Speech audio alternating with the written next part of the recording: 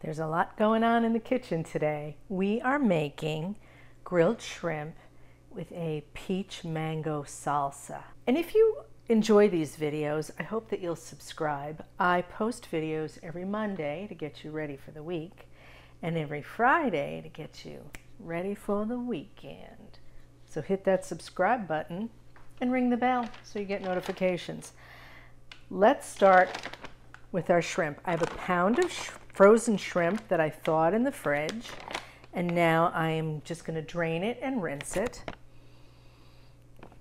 And it smells amazing. Your shrimp should have no malodor whatsoever. When you stick your nose in there, it should smell like the ocean. And it does. It, it's like a day at the beach. Okay, so we're going to drain these. Give them a little rinse. Just let those sit for a bit. And I clean as I go because when I first started cooking, I was in a tiny little Manhattan apartment. So that was a good um, habit to get into. What we're going to do for the shrimp, put all this aside for a second. Um, we're going to create a little marinade for them and then they're just going to sit in there while we make our salsa. We're going to start with the juice of a lime. And of course, I'm sure you remember that we always roll the lime before we cut it so that it gets nice and juicy inside. Okay. So you're going to just juice it right into a bowl.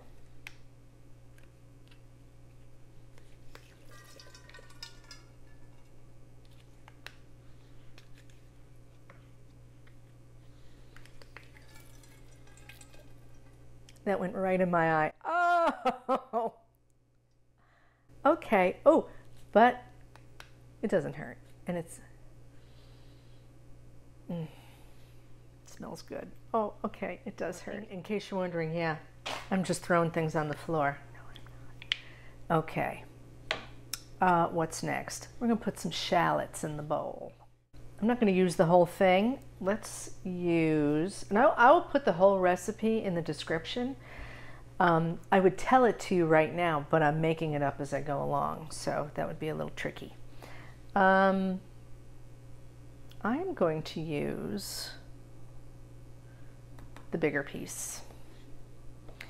And we're just going to slice it and dice it.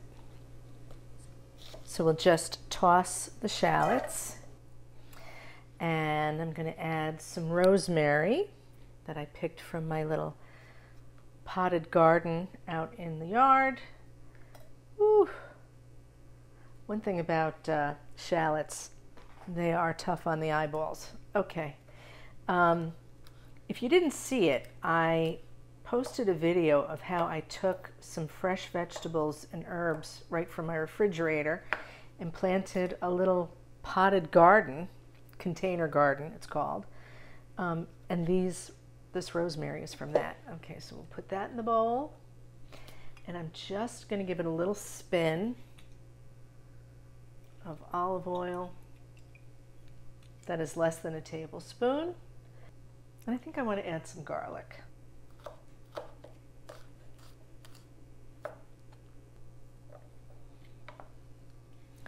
But the main event is fresh ginger.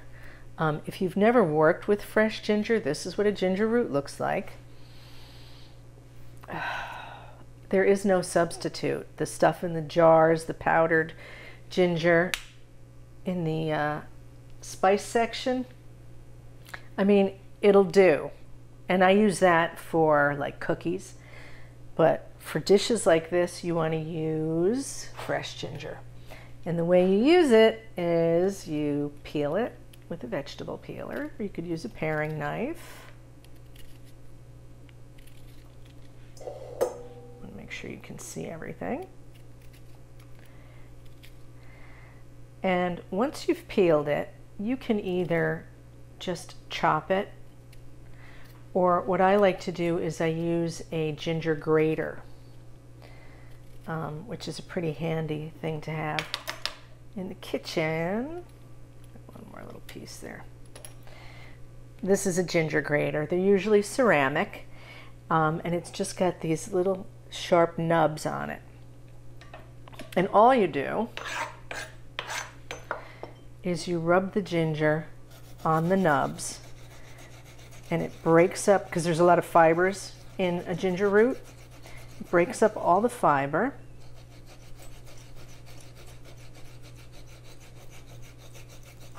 And grates the ginger. And you can see what I'm talking about. Can you see these hairs? There we go.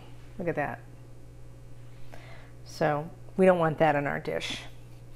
And if you use a grater, that takes care of that. Okay. So here I'm going to say we've got a teaspoon of ginger. And ginger and shrimp go so beautifully together. I feel like I'm standing on the coast of the ocean. Yay! All right, so we mix that up. Then we're just going to put our shrimp in here and coat it. Get your hands right in. You want to become intimate with your ingredients. And it will make you a better cook. And you'll enjoy cooking more. If you like cooking, this will make you enjoy cooking even more to really engage all your senses, mindful cooking. And if you don't like to cook, this might make you like it a little better. You never know. All right, so while these are marinating,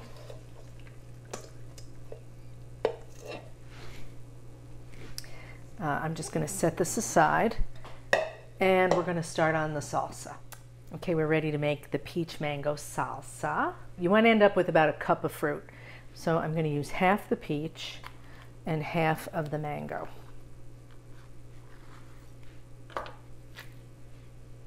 Voila. Um, do I want to take the fuzz off? No, I do not. Because that's an extra step I'm just not interested in. Um, and I'm going to chop this up in a mini food chopper. You can use a food processor or you can just chop it by hand like they did in the good old days. Throw that in there. Okay. There is much debate about the proper way to cut a mango. And the truth of the matter is there are several ways to cut a mango. Here's how I do it. Use a thin knife. I in case you don't know, there's a fibrous pit in the middle of this, so you can't just cut through it. That's not going to work. You have to get around that fibrous pit. So I come down towards the center and then I bow out and come back down. And I do the same over here. All right. Then, and never do this in your hand because you will cut yourself. We're just going to make slits in the flesh.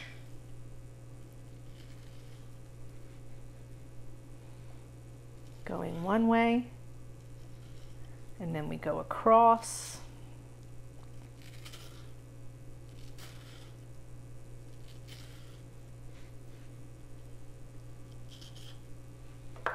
And then we apply pressure. Look at that.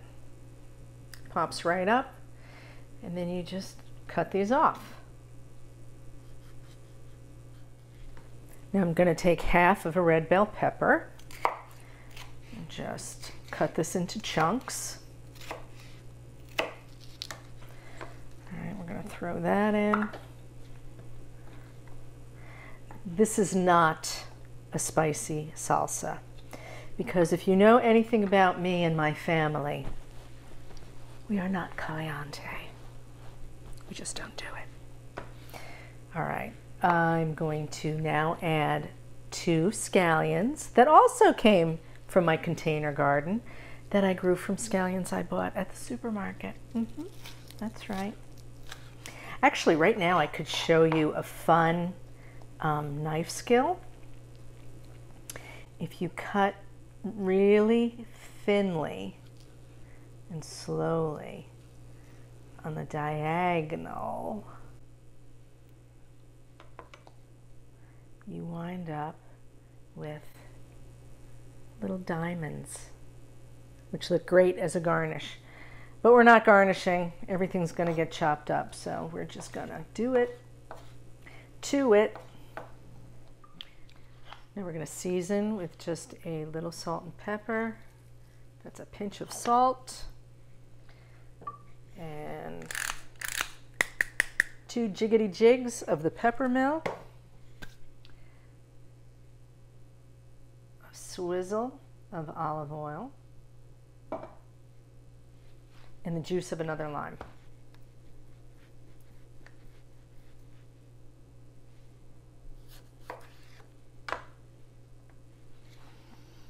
Mm.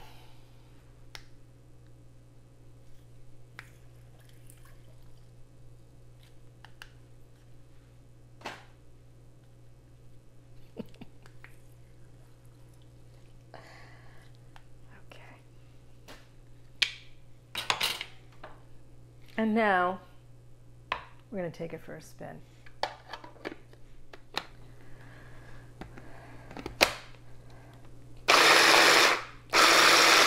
We're to pulse.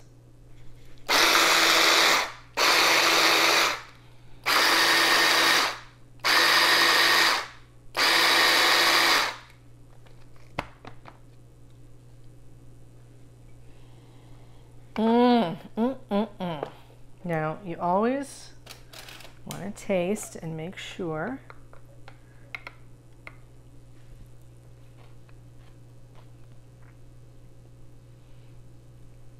I'm going to throw a little ginger in there. Yeah, I am. Our shrimp have been marinating for about an hour. And now we're going to put them on skewers so we can grill them. Now, you don't want to put the shrimp on a skewer like this because when you try to turn it, it is virtually impossible.